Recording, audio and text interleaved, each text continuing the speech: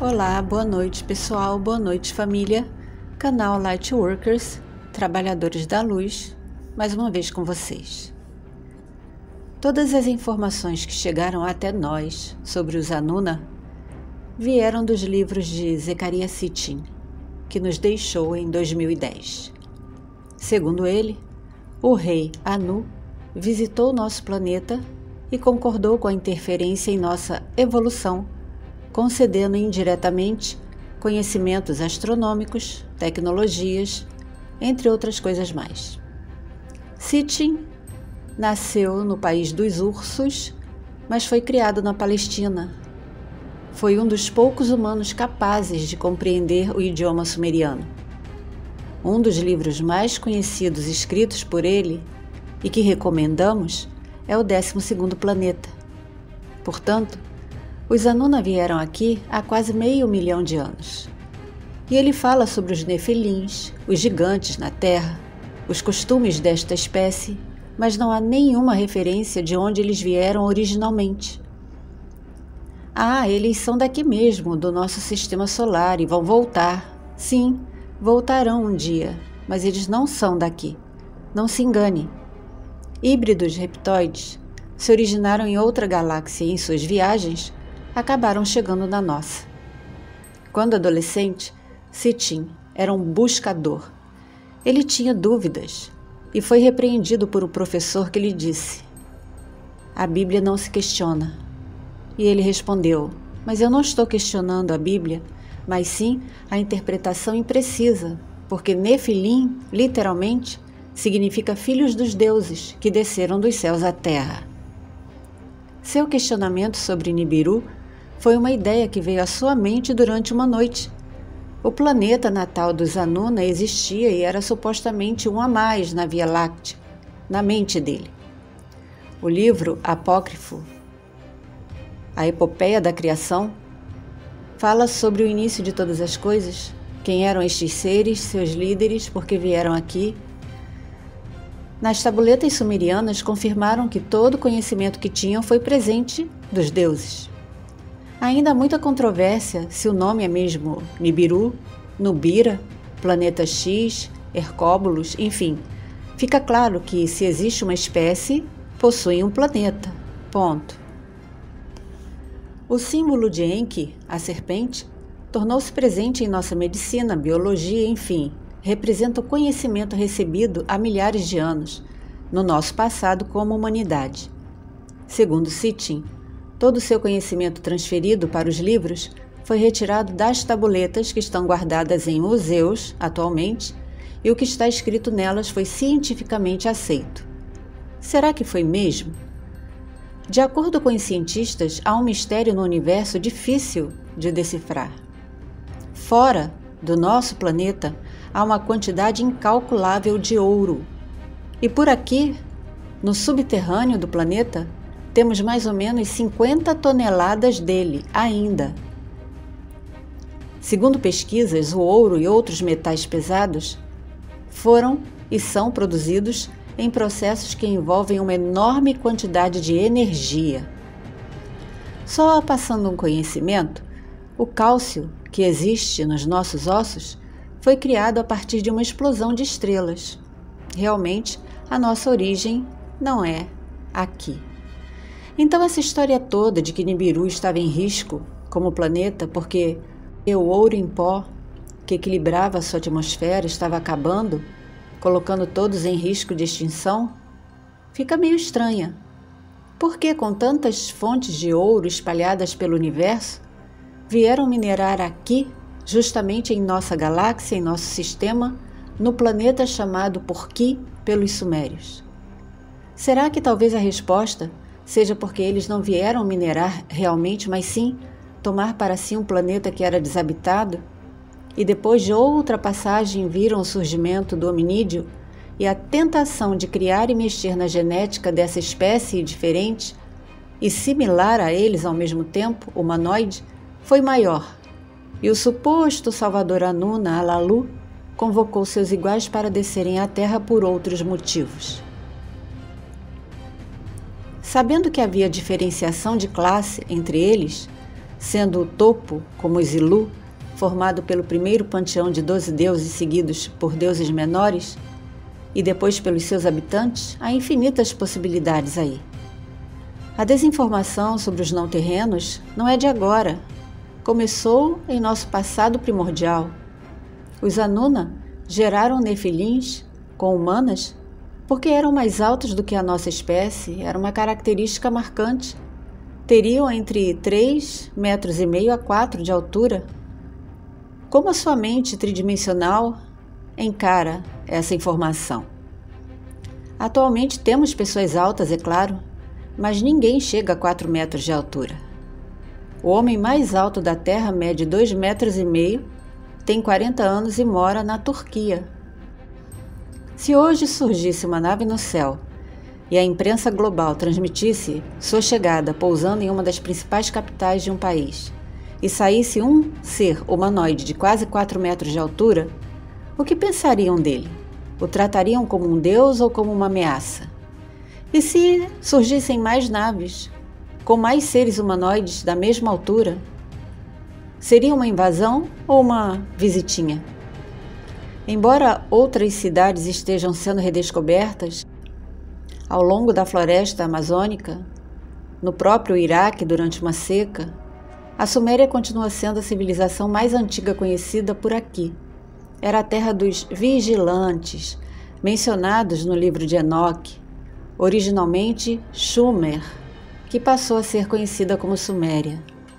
Do total desconhecimento a conhecimentos incríveis, os sumerianos absorveram isso quase da noite para o dia, mas terminaram seus dias aproximadamente em 2024 a.C., tempo criado por um monge chamado Dionísio.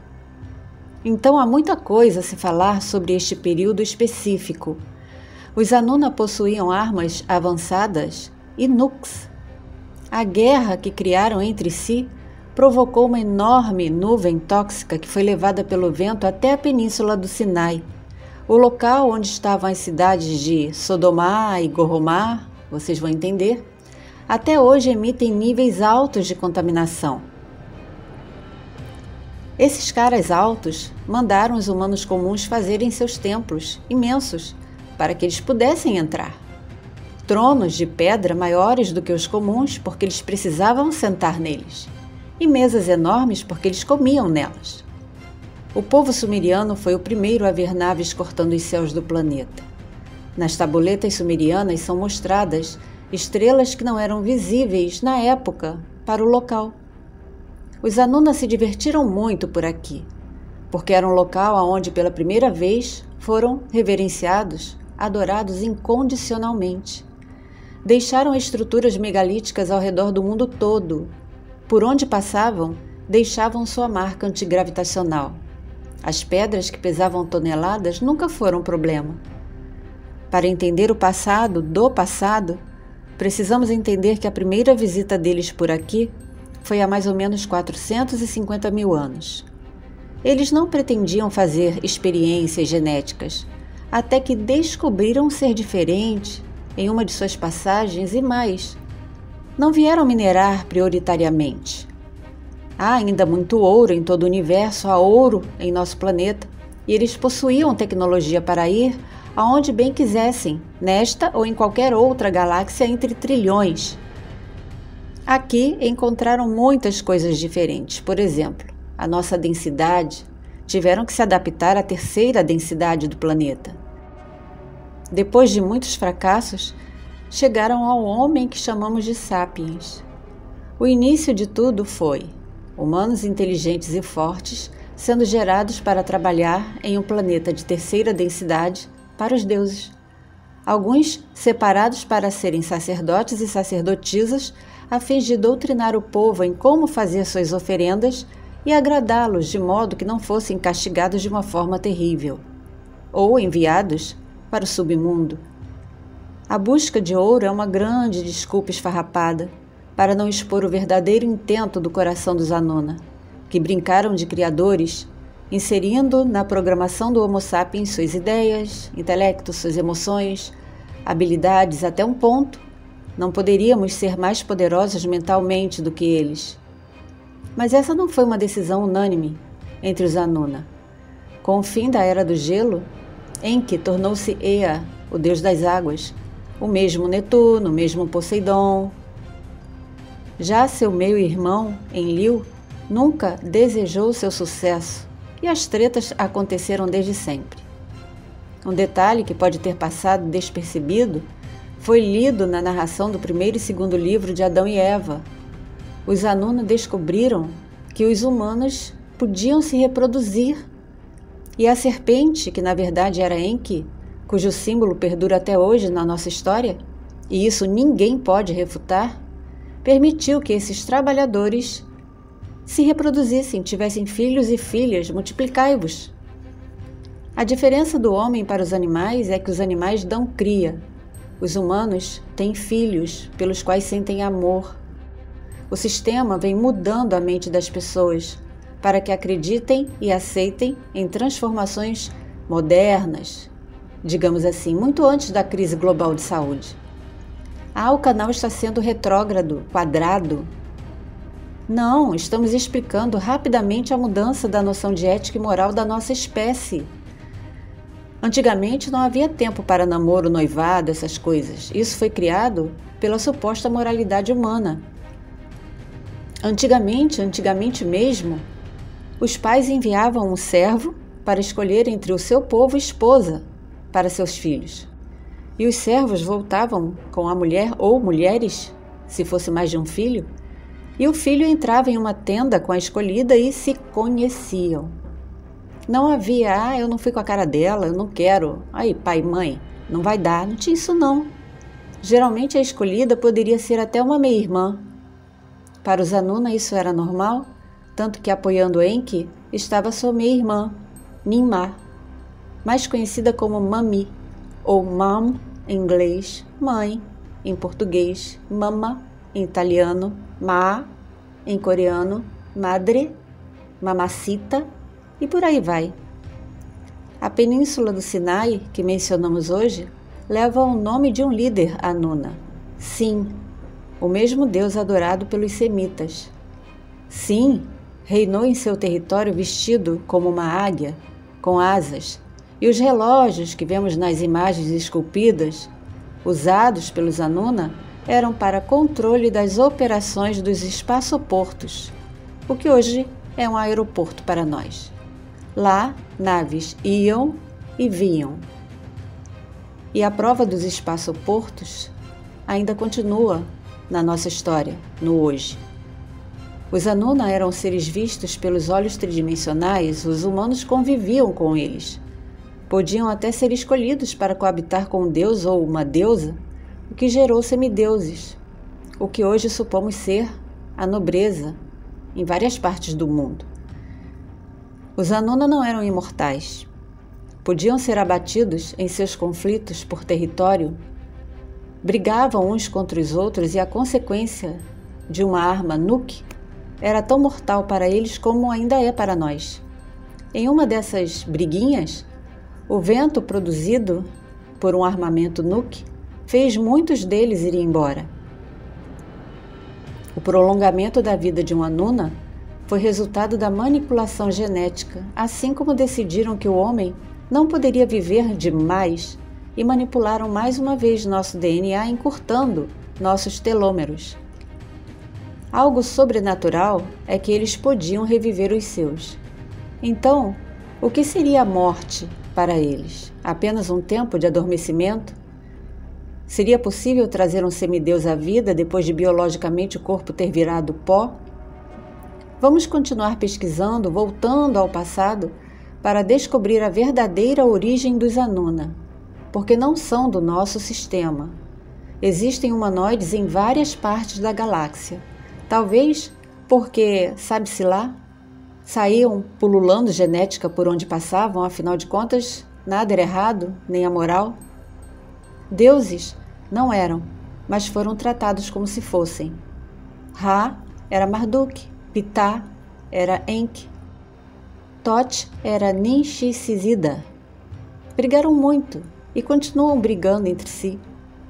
Os que se foram não voltarão, e os que ficaram um dia criarão a ilusão do retorno. Por que ficaram poucos Anuna aqui? É uma pergunta difícil de responder. Um deles criou um povo só para si, que o obedecesse e rejeitasse qualquer outro deus sumeriano.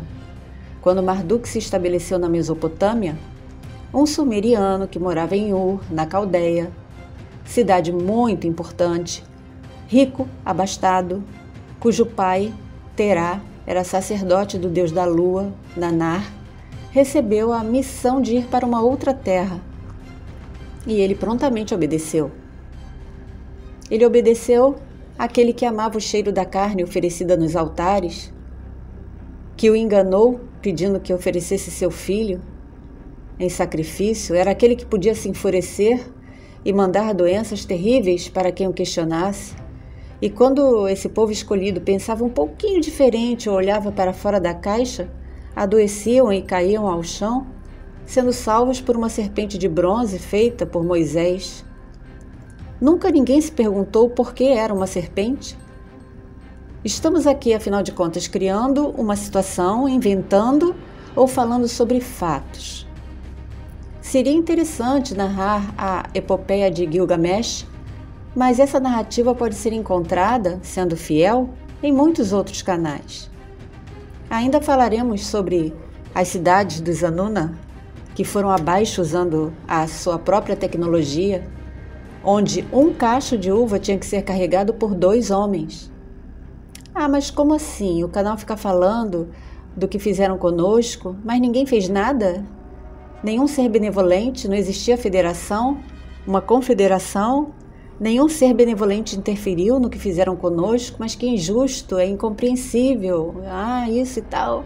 Eles ajudaram sim.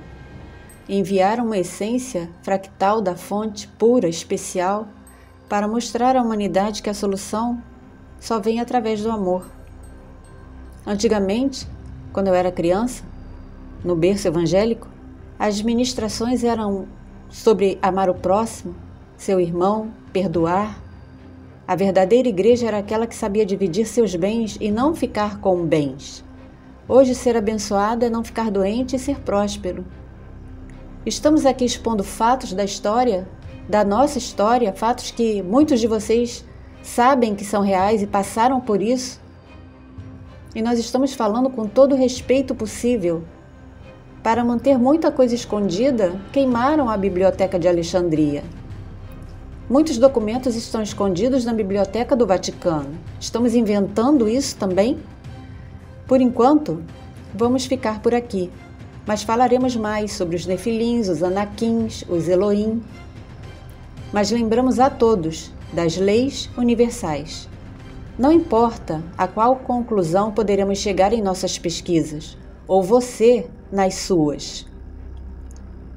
Nenhuma espécie pode revogar as leis universais. Não nascemos com martelos nas mãos para julgar uns aos outros, mas sim com mãos para abraçar, afagar, unirem-se em gratidão. Sair da Matrix é mais do que querer uma ascensão. Deixar a 3D para trás, rumo a uma 5D, é não dar as costas para o nosso passado real e recuperar o controle de nossas essências que estavam adormecidas, mas despertaram. E estamos apenas no início. Aperte o cinto. Se desejar, continue conosco. Gratidão por acompanhar e apoiar o canal. Muita paz, muito amor, muita sabedoria e discernimento e principalmente muita da verdadeira luz.